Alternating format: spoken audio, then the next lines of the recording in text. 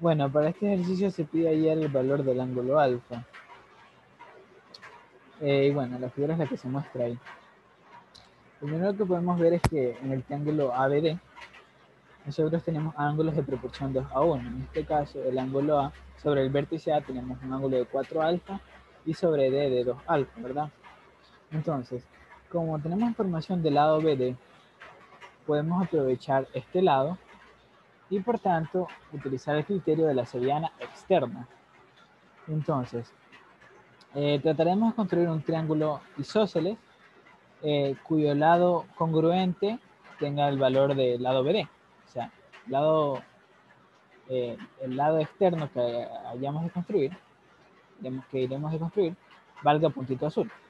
Bueno, dicho esto, entonces desde AD prolongamos este segmento AD hasta un punto exterior E y conectamos E con B, de manera que el triángulo EBD sea isósceles de ángulos 2 alfa y 2 alfa. Aquí tenemos 2 alfa sobre el vértice E. Y de ser así, evidentemente el lado BE, al igual que el lado BD, vale puntito azul.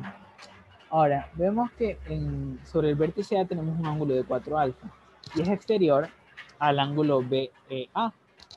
Por tanto, por ser exterior al ángulo BEA, debe ser igual al par de ángulos adyacentes al ángulo A internos al triángulo EBD, EBA. Por tanto, este 4A es igual a 2 alfa más el ángulo EBA. Es decir, el ángulo EBA es 4 alfa menos 2 alfa, es decir, 2 alfa. Entonces lo escribimos en la imagen. Hecho esto, vemos que el triángulo EBA tiene un par de ángulos congruentes. El ángulo de 2 alfa se repite sobre los vértices B y A. De allí que este triángulo es congruente y el lado EA es congruente al lado BA. Por tanto, podemos marcar un, cuadrito, un cuadrado rojo entre estos dos lados. Cuadrado rojo en EA y cuadrado rojo en BA. Ahora, podemos aprovechar la, información del lado AC. Sabemos que el lado AC es congruente a EB. Entonces, eh, y sabiendo que sobre los vértices E y B tenemos dos alfa, vemos que este triángulo es un candidato perfecto a ser replicado sobre el lado AC, dado que en los vértices A y C tenemos 4 alfa y 3 alfa. Así que al replicar el triángulo EBA sobre el lado AC, eh, el ángulo, sabemos que el triángulo eh, será totalmente interno al triángulo ABC. Entonces, desde el punto A trazamos un segmento hasta un, hasta un punto K y conectamos K con C, de manera que de los 4 alfa y 3 alfa ocupemos 2 alfa en cada extremo, alfa y 2 alfa. De tal manera que por criterio ángulo-lado-ángulo, los triángulos AKC y EBC sean congruentes. Y por tanto, el lado AK y KC sea congruente al lado BA. Es decir, eh, los lados AK y KC valgan cuadradito rojo. Ahora, como de los 4 alfa y 3 alfa hemos ocupado parcialmente cada ángulo, eh, completamos los 4 alfa agregando 2 alfa y en 3 alfa pues escribiendo alfa.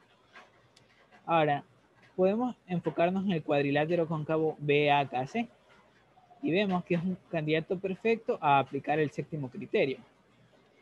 Ahorita voy a marcar con el puntero aquí tenemos eh, lo que decía el séptimo criterio en el primer caso. Dice que si tenemos una figura, como la que se muestra, se cumple que uno de los ángulos es 120 grados menos alfa.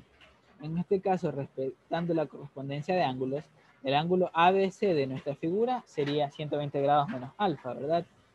Entonces ponemos la figura y ahora podemos aplicar el teorema de los ángulos internos sobre el triángulo ABD.